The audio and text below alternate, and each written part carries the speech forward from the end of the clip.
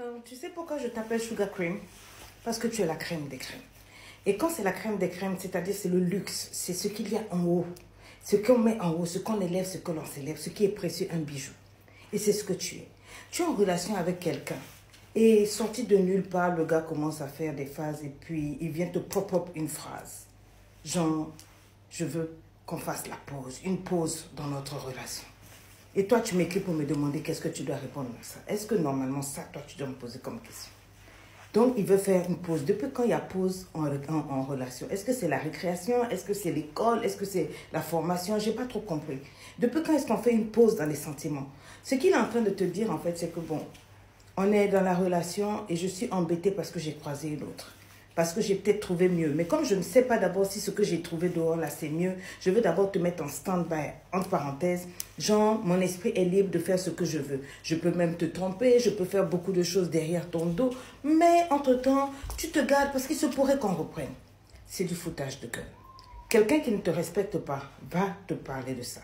Et une femme qui se respecte, qui sait qu'elle est la crème des crèmes, ne peut jamais tolérer ce genre de bêtises. Alors donc, on fait une pause.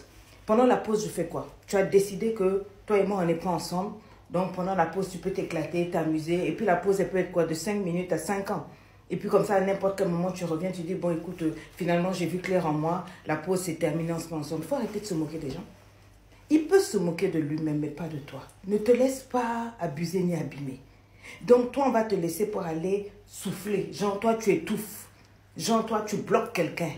Tes sentiments bloquent, empêchent quelqu'un. Tes sentiments hypothèquent quelqu'un. Tes sentiments empêchent une personne de toucher à sa carrière, d'avancer.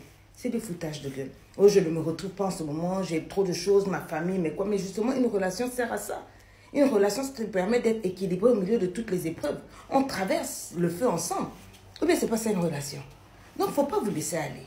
Quand quelqu'un vient te parler de pause, donne-lui une pause permanente. Écris-moi sa pause permanente. C'est-à-dire qu'au moment où il s'est trompé pour sortir ça de sa bouche, il n'aura plus jamais l'occasion de te voir en face.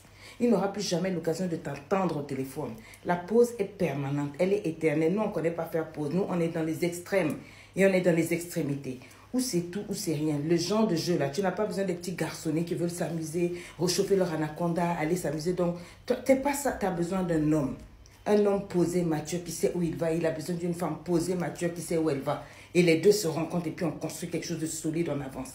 Dans ça, là, ça ne veut pas dire qu'il n'y a pas de problèmes. Ça ne veut pas dire qu'il n'y a, pas- des moments où on a envie de, de rompre, de se séparer. Mais on, on, on fait tout, mais on est là. Mais tu ne viens pas voir une personne qui a des sentiments pour toi pour dire, bon, on appuie sur le bouton pause. Genre, c'est un magnétoscope. On appuie là. Hmm.